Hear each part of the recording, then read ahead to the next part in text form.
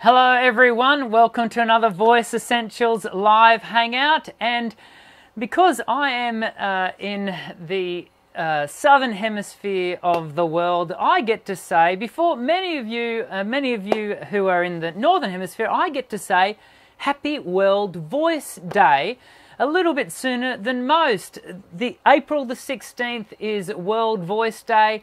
It's a day where we celebrate uh, the fact that we're all, all born with this wonderful thing called a human voice. Um, and we talk about, you know, subjects like vocal health and uh, technique.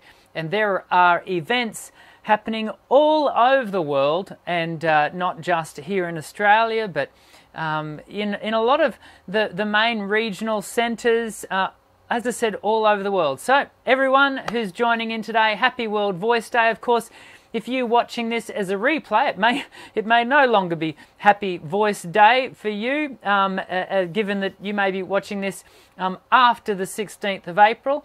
But regardless, I hope you're having a great day, and thanks for clicking on the video and watching it in replay. But of course, this is a live show. We do this show every Monday at 2 p.m. Australian Eastern Standard Time. And, uh, and so it is good to have everyone already joining in. We've got people jumping in. So we've got some new new names here, some new people. Of course, we've got all the all the old favourites. Well, I don't know that they're old, but uh, Matt's here. Uh, we've got Yahui and who. Are, so I've got uh, a whole range of other names that I've, I, I'm noticing, and Karen, of course, from Singwise, and Linda who will be watching our live chat and just keeping everyone happy and healthy and safe in the live chat. If you um, are in the live chat currently, hey guys, uh, tell us where you're from. What is the weather like in your part of the world? We are having crazy hot weather here in Australia at the moment. It is a little um, a little disconcerting. I heard on the news this morning that in Australia, certainly um, in Sydney, and I'm I'm about a thousand kilometres north of Sydney. So, but the the weather guy was saying that in Sydney they normally only have two or three days in April that go above the minimum goes above 18 degrees. There has not been a single day in Sydney where they haven't had their minimum stay above um, 18 degrees. It's just this hot weather seems to be coming a little bit more normal. Um, and so, hey, look, wherever you are, let us know where you're from, what the weather's like, and uh, just so that we can get to know you. And uh, of course, later in the show, we'll do our Q&A. So now's the time to be talking about, to, to be asking your questions in the live chat. But of course, if you are watching this as a replay, then please take a moment to write your questions in the comment section because I'll always do myself my very best to answer your questions, uh, regardless of whether you're watching this live or not. Because I know there's a number of you who can't watch the show live because you're either it's asleep or you're at work or whatever when we go live. And, and I really appreciate the fact that the majority of you do watch this in replay. So, um, hey guys, just a little bit of um, uh, channel news. Uh, we have just clicked past the 2 million view mark. And I shared that onto the Facebook page and basically said that's a lot of eyeballs. Uh, so thanks to all of you who have supported the channel. Um, I know many of you who watch uh, these live hangouts um, have contributed to those views in a, a great way. And, um, and at around about the same time, we clicked into about 32,000 subscribers. So the channel is healthy and it's got a, a, a great sense of community about it. And it's in part to to you know just the way you guys engage with the show here for the live event but also the other uh, two videos that I'm been releasing on a weekly basis on Wednesday and uh, and Wednesday and Friday. I had to think about that for a second. So it's very exciting. Of course, um, you know that this term, what we're doing uh, for the next three months or so, I'm hoping it will go longer than that, but certainly for the next three months, I've got lined up every second Monday during the live show. We're having a guest on. Last week we had Michelle um, from faithculturekiss.com. And oh, she was just wonderful. If you haven't seen that live hangout, jump onto my channel page and go to the videos just to be able to pull that video up to, to watch. She just shared so generously, there's so much wisdom uh, in discussing um, her approach to singing, and and uh, you know, uh, Linda said that she watched it a couple of times. There's just so much in there, and so I really encourage you to do that after today's live show if you've got time. Next week we are going to be having Kate Baker onto the show. Kate Baker, Kate is a, a, jazz specialist, but also works with rehabilitating voices, and I know she's going to be able to come on and uh, share a lot of exciting things with us all. So I'm looking forward to having her on the show. I'm going to keep it a little secret as to who we've got coming up beyond there, but I hope you can all join in uh, and tune in next week. Now, today's show has to be a little bit shorter because this afternoon, many of you know, last year, August the 11th, a date that will remain forever etched into my uh, memory, uh, my wife, Jody, was diagnosed with bowel cancer, um, and we've been on a, a, pretty big journey ever since. Um, and uh, she's on, undergone chemo, she's completed the chemo process. Um, and so this afternoon, last week, I should just say last week, Jody had her post chemo scans and blood tests. And so this afternoon we are having our appointment with the with the um, oncologist, and uh, we are going to find out, you know, um, where she is currently at. And I wanted to update you all because all of you have been so kind and um, and so uh, intentional with your words of of encouragement and uh, and prayer. And and uh, I just wanted to update you where we're at. I might be able to let you know next week and give you an update. Um, we're, we're anticipating a, a really positive um, outcome. Uh, we've been led to, to, to, to, to think that way. Um, and, uh, and so we'll have that meeting this afternoon. And, uh, and, but we, you know, I think I, I, I, would be a robot to say, so that we weren't, you know, a little bit on edge uh, with it all um, was which was made a little bit worse. Actually, funny story. Before we get into the rest of the show, you know, so we're a bit on edge with this with this meeting coming up, but. Um, I was mowing my lawn, doing the lawns. I like to keep my lawns nice and presentable for, for students when they rock up here to the studio. I was mowing the lawn I've done the lawn, I've mowed the lawn in the same way for the last 18 years. I always take my cars up onto the street, park them on the street, even though I do my, my nature strip out there. And I, I had finished doing the lawns and I came back up and I was just checking the front to make sure I hadn't left anything up there. I look up and I see my daughter's new car, well, it's a second-hand car, but her new car, and, and there is one side glass panel, one window the passenger side door window completely smashed, like shattered. And I went, oh no. I've, I've, obviously, I've kicked a, a stone up and it smashed the window. Now, long story short, I have, I was currently, uh, at that point, I was also in possession of a, uh, a loan car, a courtesy car from a dealership that was loaning us the car because I've got I had my car in getting serviced and they gave us a loan car over the weekend. And I, my immediate thought was when I saw my daughter's window smashed in oh I'm so glad that's not the hire car and I looked up and looked up the street to only see that I'd smashed a window in the loan car as well.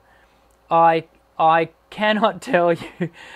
Oh, the moment that I saw that I'd done two windows in two separate cars, the whole thing has cost me so much money and so stressful. We're already a bit on edge with the with the impending meeting. But there you go. We got ourselves a, a, a, a nice little bill to fix both of those windows.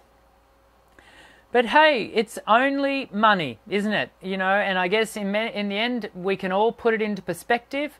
And right now, our perspective is um, my wife's health. And when I compare the thousand Australian dollars that I've had to fork out to fix both windows because, you know, it was my fault, then um, then thousand dollars in the big scheme of life is probably not a big deal. But I didn't need the stress, to be frank uh, it was it was a little bit much. But anyway, I thought I'd tell you my sorry tale. it wasn't a lot of fun. It was a little bit, well, it was definitely not a lot, definitely not a lot of fun. Ah, let's get into today's show. We're going to be talking voice strain today. I hope you'll stick around. I've got a few things that we're going to talk through. Hopefully, it's going to be a lot of help to you, and I'm looking forward to the rest of the show. I'll see you soon. Sound check. Check one. Check two.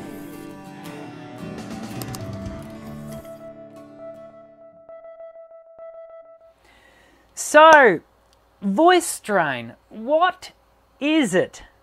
Now, I um I did a let me just bring up here. I did a I'm just bringing up this page here.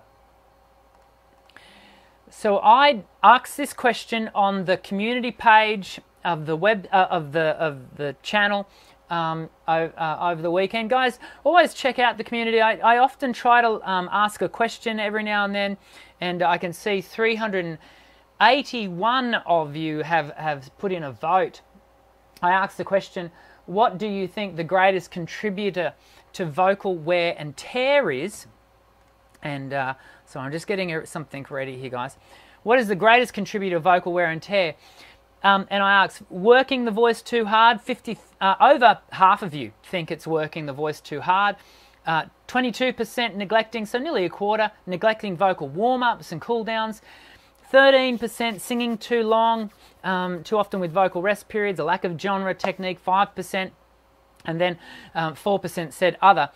And and can I can I be honest and say, there was I was kind of a bit of a bit of a um, leading question, isn't it? What what is the main contributor to to vocal wear and tear? Well, do you know what? I probably um, agree with um, some of the comments that are made down lower, and in fact, um, I think. Uh, uh, I can't pronounce um, this the first name here, but I think all of the above really, and that's probably where I would fall.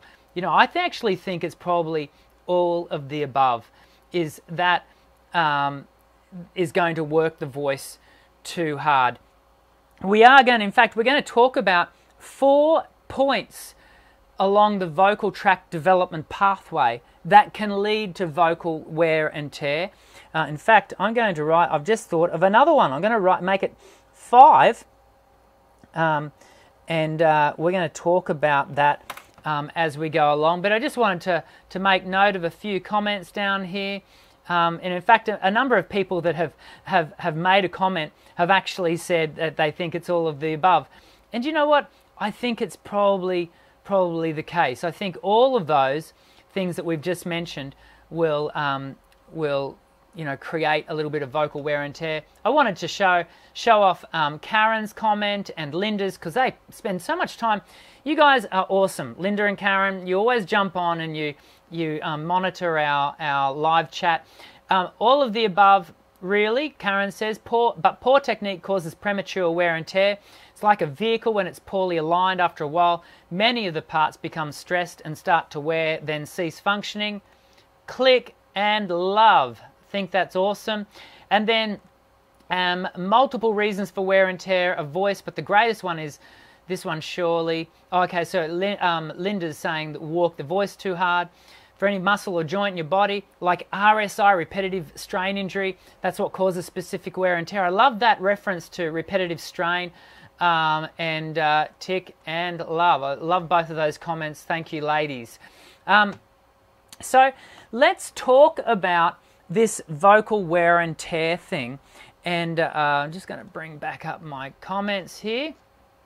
There's so much really positive conversation going on. Thanks everyone for for that engagement. So, what is vocal strain? Well, vocal strain is essentially anything that leaves your voice feeling, and, and, and, and these are very um, uh, non specific terms, um, but feeling less than optimal after use.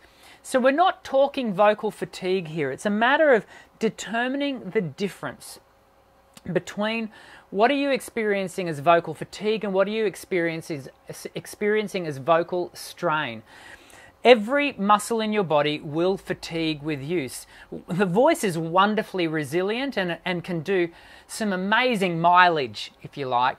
Uh, but nonetheless, if you are using it in a less than optimal way, then it will um, deteriorate beyond the point of fatigue and go into voice strain, uh, voice strain, which can lead to vocal wear and tear.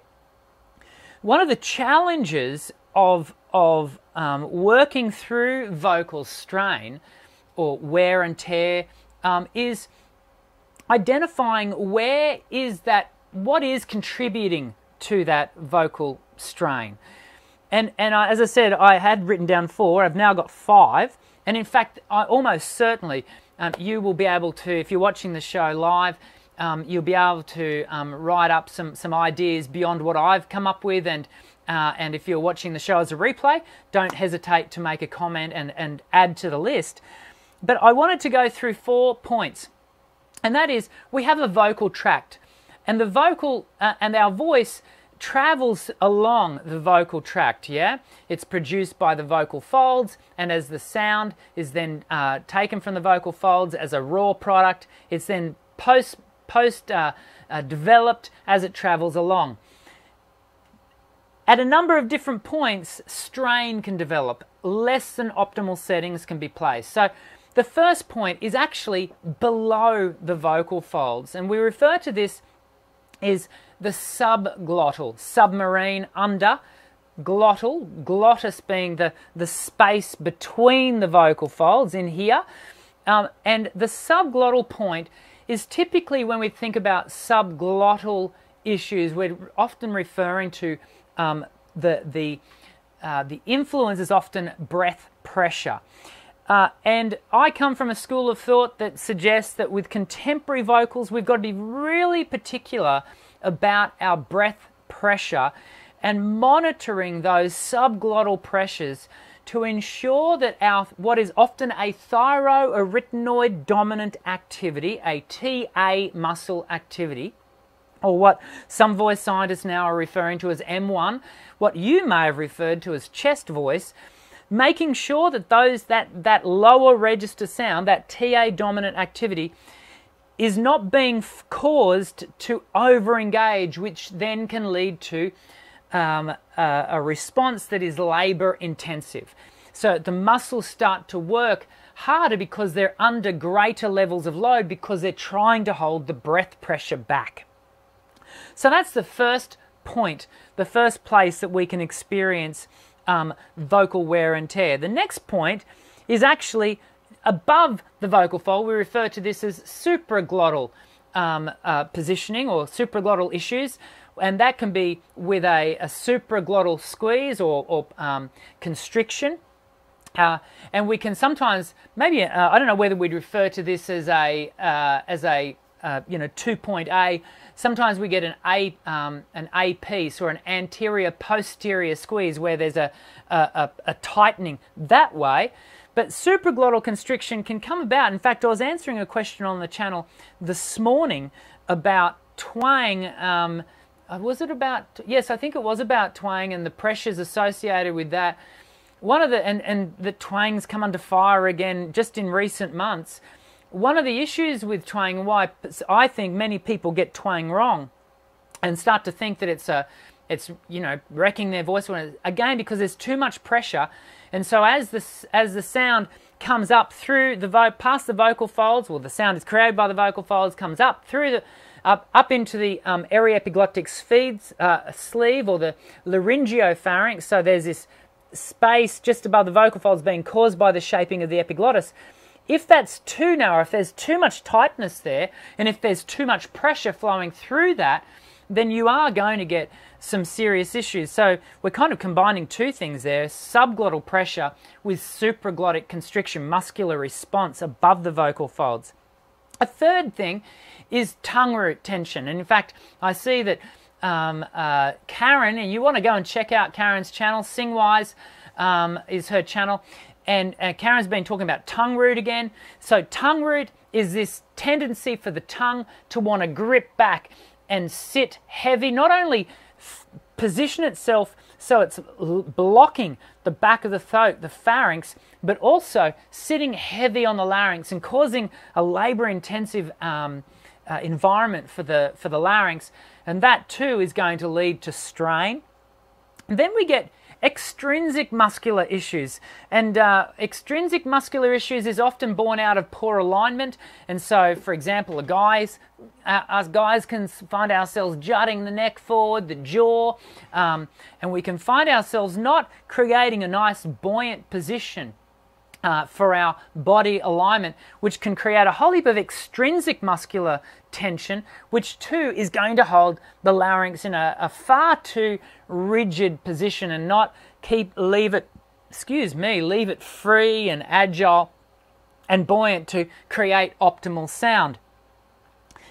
The fifth one that I hadn't thought about earlier, but I thought about just before, the fifth one is you guys have heard me say this um, in fact, I'm going to give you a moment. What do you think number five is? I'll give you a hint. I refer to this all the time, in, more often than not in many of my pre-record videos. I will give a point to whoever can come up with it first. If you're watching the live show, quickly type in to the to your um, the live chat. What do you think number five is that I've written down? It is a bit of a guess what's in Dr. Dan's brain um, question. But quickly jump in, tell me what do you think is number five on my list that is going to contribute to vocal strain? It is not one of the answers that I um, made. Let me come back over here for us all. It is not one of um, it is not one of these. It's uh, it's something else. It's something that I haven't mentioned um, in the in my uh, conversation thus far. I'm going to come back over to my to my questions. Quickly type in what I, what do you think um, is the uh, number five? I won't wait too much longer. I just want to see. I know that the way this mental apprehension no, Simona, but that's a really interesting point. I like the idea of the, yeah, the mental apprehension of can cause you to lock up. And Linda gets it. oh, Linda beat Linda beat you by a smidge, Karen. By a smidge. You both came up at the same time, but we've got to give it to Linda. It's it's there in black and white. It is. It's hydration. When we are dehydrated, it reduces the lubrication of the vocal folds, which then causes a heightening of um, friction between the vocal folds as they are oscillating. What do we know about an engine part? As engine parts come together and operate together and cogs and all the, shows how much I don't know about engines.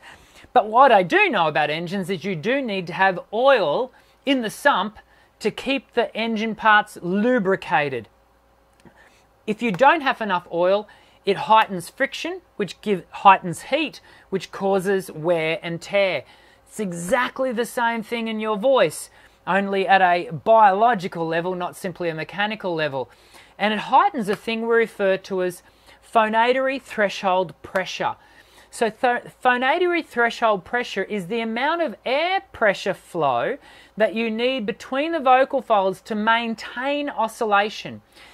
But if there is a lack of hydration, a lack of lubrication, then you have to work harder with the breath flow to maintain equilibrium of, the, of oscillation, which creates wear and tear. It just means you're not working the voice at an optimal level. And so hydration is definitely another one.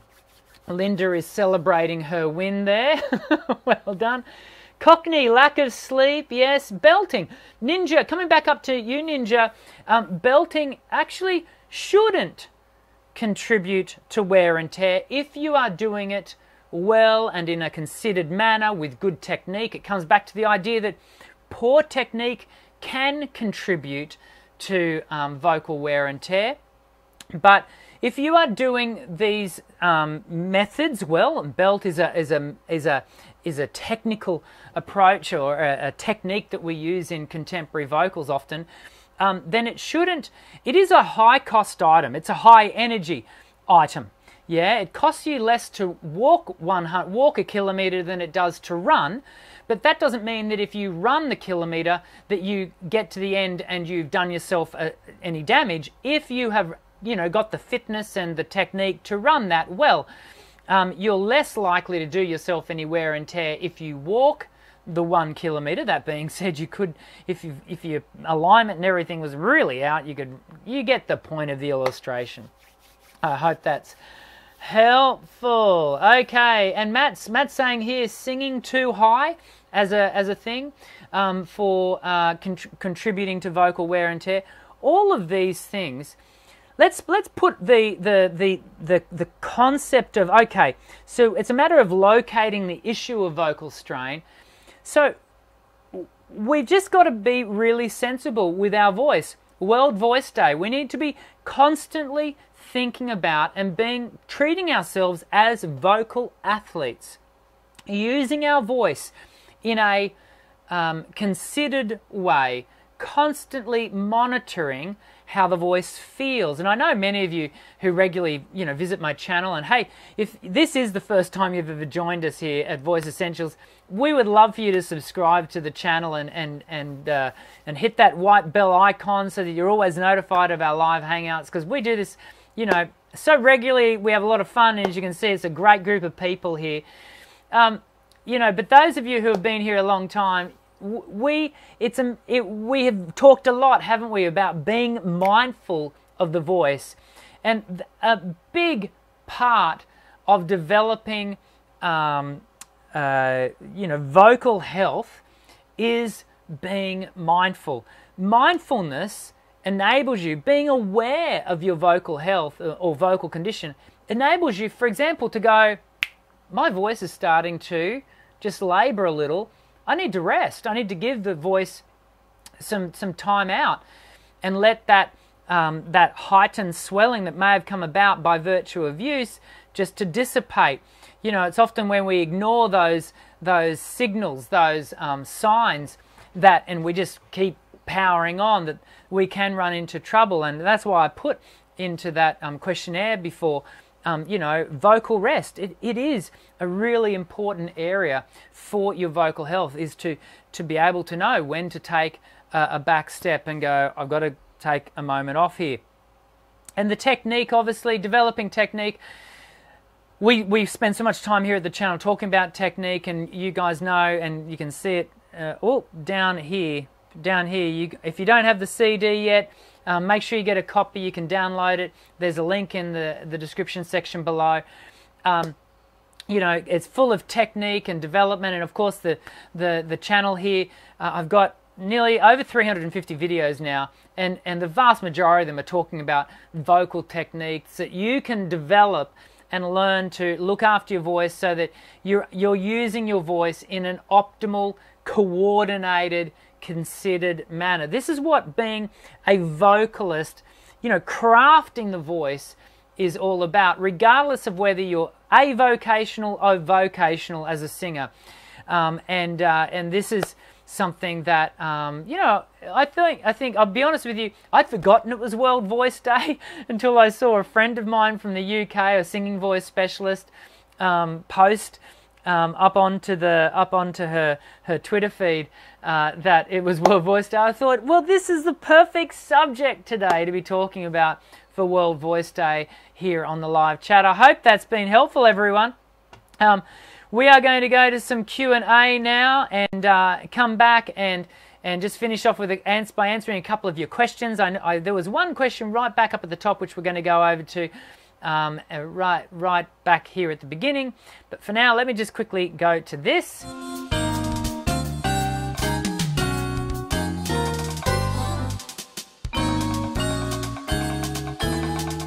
Okay, so I wonder whether this will...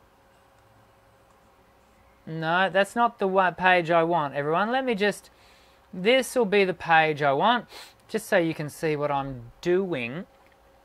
So I'm just coming back up to here, Because I saw James, in fact, I don't know whether James is still with us, but hopefully he'll see this at a later time. I'm waiting for Dr. Dan because I need help. This live will save my problem. Well, I, I, I'm no messiah, James. Well, let's see what we can do. I can feel too much pressure. Once I give low pressure, it makes my throat hurt. Interesting point. So much of what I've just said, um, we talk about, we, we do get into the habit, don't we, of thinking about over driving the voice, you know, too much pressure, too much oomph. It's a funny thing. You know, this, this term I keep using, and I've used it all of today, is optimal setting. So we talk about too much, but do you know what? The voice can be quite labored by having not enough. Yeah? So by having too little pressure, your muscles have to work harder to account for the fact that they're not quite getting the airflow, and so they're trying to do the work. They start to create tension and tightness, which is all because there's not enough air pressure. We're not aiming for too little, we're not aiming for too much, we're aiming for, well, that was, I don't know which way I'm going now. We're aiming for the optimal, just right, just the right amount. And learning to develop that takes time. And, uh, and I hope you've been watching the, the series on the Wednesday series that we've got going at the moment. There's part, it's a two part series. Last week we talked about the responsibilities of the teacher. This week we're talking about the responsibilities of the student. Part of what I'm wanting to again communicate is learning to sing. Look, this YouTube channel, we've created a great community here, and we will continue to do that. And I'm going to continue to upload videos for you all. But but can I once again stress to you how important individual lessons are? They are so important. You will reach, every person will reach a, a plateau in their learning if they only have YouTube to teach them. Yeah, because YouTube can't diagnose faults, it can't give, give feedback, it cannot tell you when you're doing it wrong. The only way you can do that is when you are in lesson with another human being, a trained ex, you know, uh, professional singing teacher with expertise who can go, hey, did you hear what you just did there? That was good. Or, oh, we need to tweak that. Can we do that again? Can we change that? You need to pay attention. So it's so important that that you do that. And if you're looking to develop, you know, good breath flow and good breath pressure, then doing that in team with another singing teacher is a good thing. Coming down, so that was right back of a throw. I'm going to come all the way down. If you've got questions, everyone, now's the time to be asking them. Um, Matt's, Matt is enjoying my, my shirt. Yes, it's join, join the dark side. I'm not really a dark side kind of guy. I am a bit of a light side kind of guy, but nonetheless, it's, I do like the, the shirt. I've got quite a number of Star Wars type shirts, you'll have noticed. Um, so thanks for that. Uh, Alexandra, uh, is it possible for a tenor to struggle with E flat? E flat 4. Um,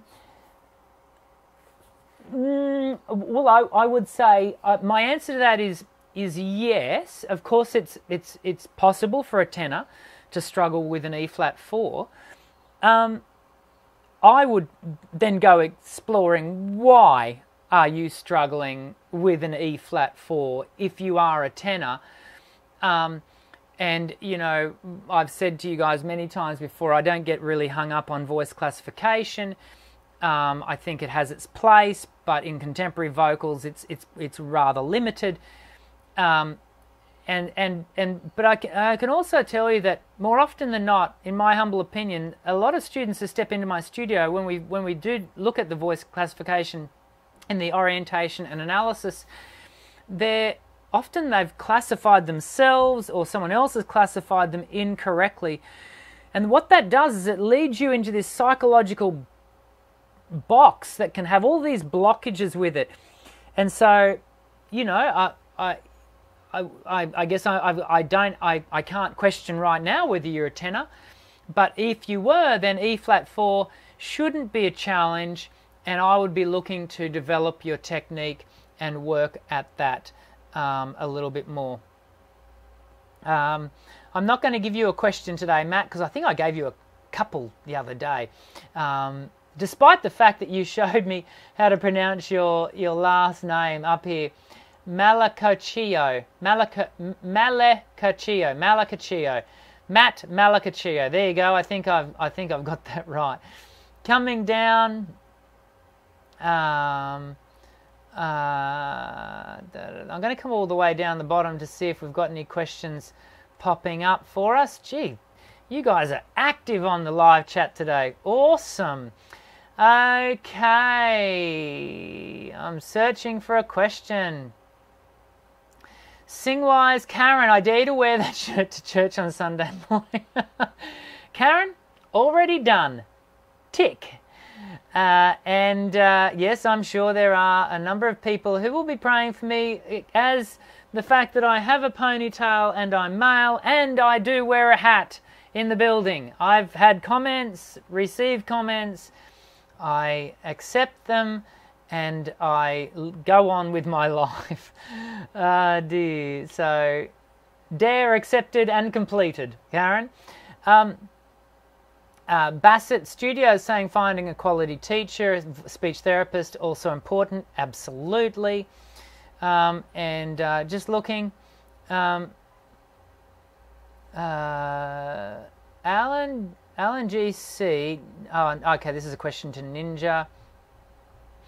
Okay, last one for Cockney, who is a long term subscriber to the channel. So we'll give Cockney the last one here. I was asking Dan how common are nodes and other vocal pathologies, please. Whoa, interesting question. Uh, how common are they? Do you know what? I think they're more common than we realize. And I think also, let me just bring this back over here, everyone. I think also, not only are they common, but I think, for example, with nodules, they are, they get more attention than they're worth.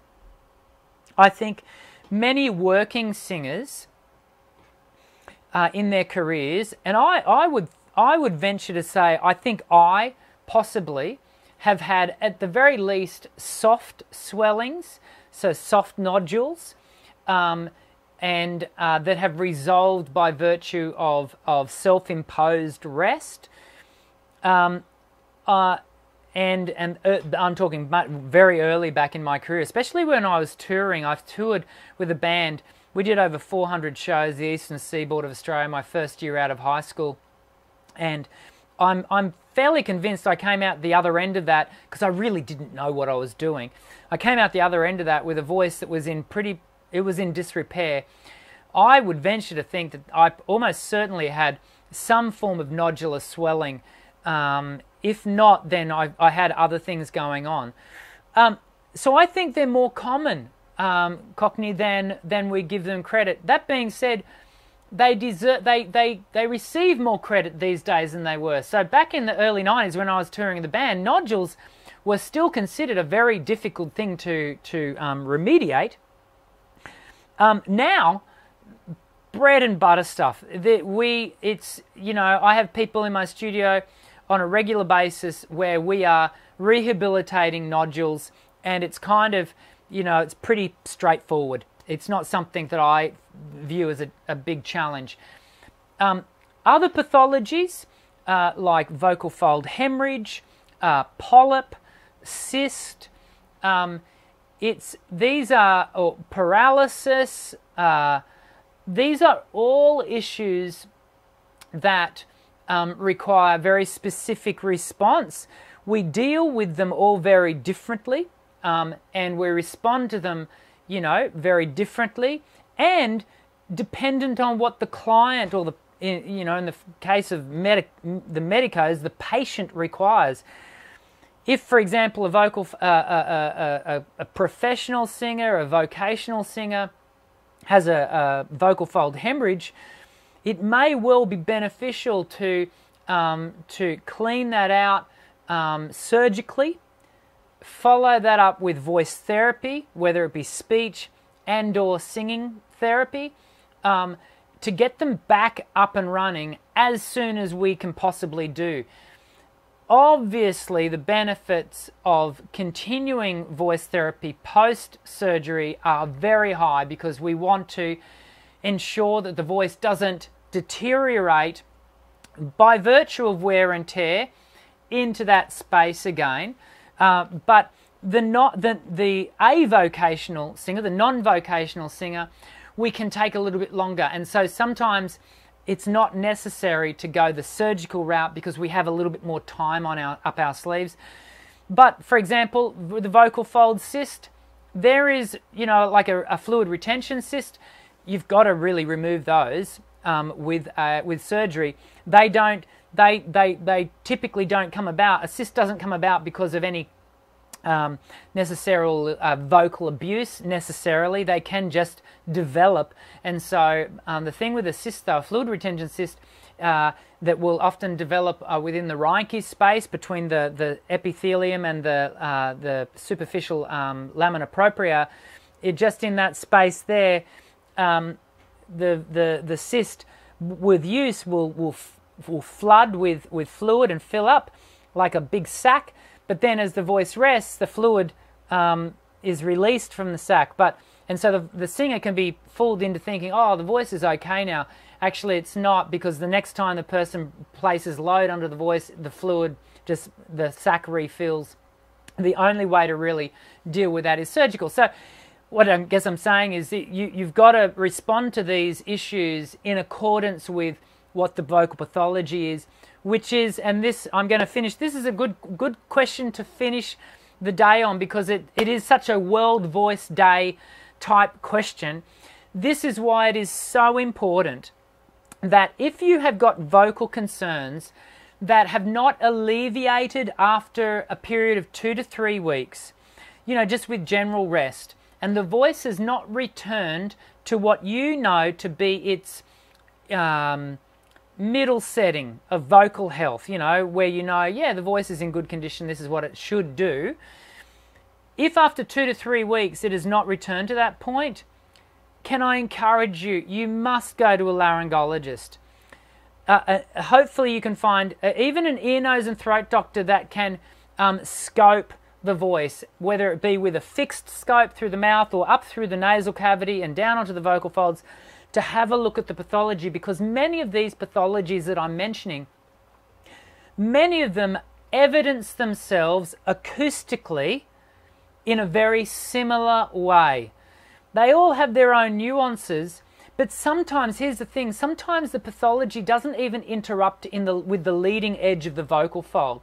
And so they can be disguised now, you might get to the ENT and the ENT go, no, there's nothing wrong, there's no pathology. Then you need to investigate the functional aspect of the voice. Um, but nonetheless, you don't want to proceed with your vocal loads without knowing why has my voice not returned to health in the last uh, couple of weeks. Investigate it. Please do not stick your head in a bucket of sand. Living in denial won't make it better. Your vocal continuance um, at a healthy level is reliant on you being brave and going to an ear, nose, and throat doctor, preferably a laryngologist, a specialist in um, voice, uh, where they can actually have a look. I cannot diagnose you, a speech therapist, a speech pathologist cannot diagnose you. We can only lead you to an ear, uh, ear nose, and throat doctor or a laryngologist who will then either refer you back to myself, a singing voice specialist or a speech pathologist, and or recommend surgical intervention if that is necessary. Wow, there you go. I, I think that was a good World Voice Day live hangout. I hope you've enjoyed yourself. I hope uh, we've covered, gee, we've covered some ground today, haven't we?